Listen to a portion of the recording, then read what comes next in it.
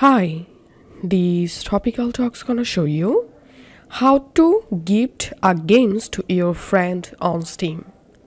Follow this easy and step-by-step guide to gift any games to your Steam friend.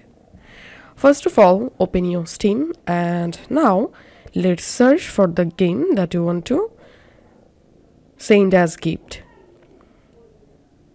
All you have to need is just open the game page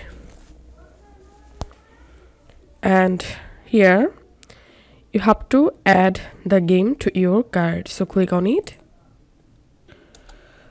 Once you added the game to your steam card now just click on purchase as a gift.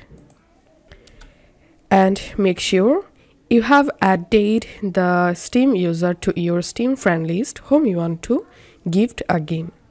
And now you have to select the user from your friend list.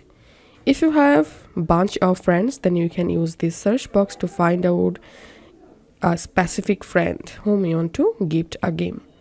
Once you selected the user just click on continue.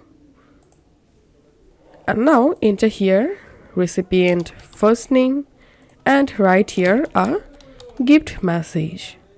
And now you can select here a sentiment and add here your signature. Once done, click on continue. And now select here your payment method. You can select PayPal, Visa card, MasterCard, American Express.